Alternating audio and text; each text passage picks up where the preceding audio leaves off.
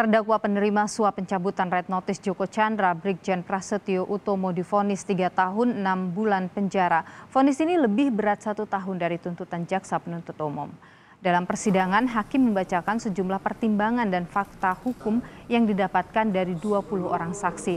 Hakim menyebut dakwaan jaksa sudah tepat, yakni pasal terkait penyelenggaraan negara yang menerima hadiah atau janji untuk melakukan atau tidak melakukan sesuatu bertentangan dengan kewajibannya. Hakim juga menjabarkan penerimaan uang senilai 100 ribu dolar Amerika Serikat yang diberikan oleh Tommy Sunardi pada Prasetyo.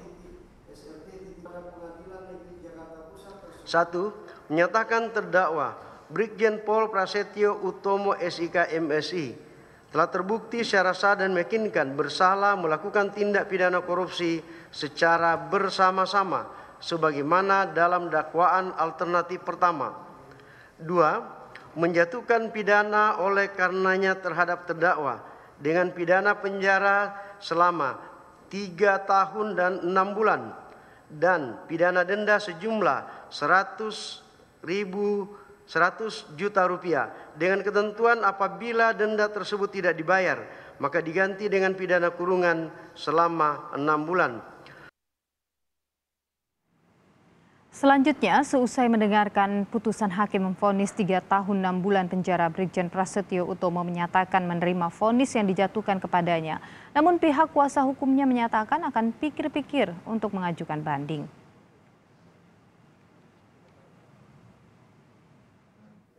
Silakan saudara sikapi seperti apa? Saya menerima, Yang Mulia. Hak yang sama juga berlaku ke penuntut umum kecuali hak untuk mencabut pernyataan menerima dan menggunakan upaya hukum banding itu tidak dibolehkan bagi penuntut umum. Silakan gimana? Untuk saat ini kami menyatakan pikir-pikir, Majelis. Baik ya. Dengan demikian seluruh rangkaian pemeriksaan perkara telah selesai sidang cukup dan ditutup. Sementara itu untuk kasus yang sama mantan Kepala Divisi Hubungan Internasional Polri Irjen Napoleon Bonaparte difonis 4 tahun penjara. Napoleon juga di, uh, dikenakan denda senilai 100 juta rupiah. Menyatakan terdakwa Irjen Pol Dr. Andes Napoleon Bonaparte MSI telah terbukti secara sah dan meyakinkan bersalah melakukan tindak pidana korupsi secara bersama-sama sebagaimana dalam dakwaan alternatif pertama. Dua, menjatuhkan pidana oleh karenanya terhadap terdakwa dengan pidana penjara selama empat tahun dan pidana denda sejumlah 100 juta rupiah dengan ketentuan apabila denda tersebut tidak dibayar diganti dengan pidana kurungan selama enam bulan. Tiga, menetapkan agar masa penangkapan dan penahanan yang telah dijalankan oleh terdakwa dikurangkan seluruhnya dari pidana yang dijatuhkan. Empat, memerintahkan agar terdakwa tetap berada dalam tahanan dengan jenis penahanan rumah tahanan negara Menanggapi atas vonis hakim yang dijatuhkan, Napoleon Bonaparte menyatakan banding.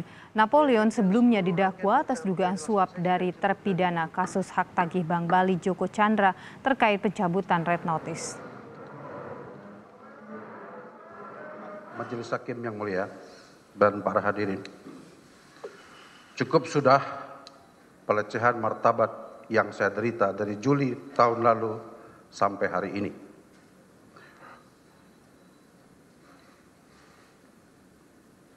saya lebih baik mati daripada martabat keluarga dilecehkan seperti ini.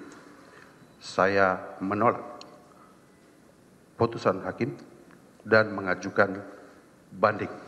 Ya, Saudara kasus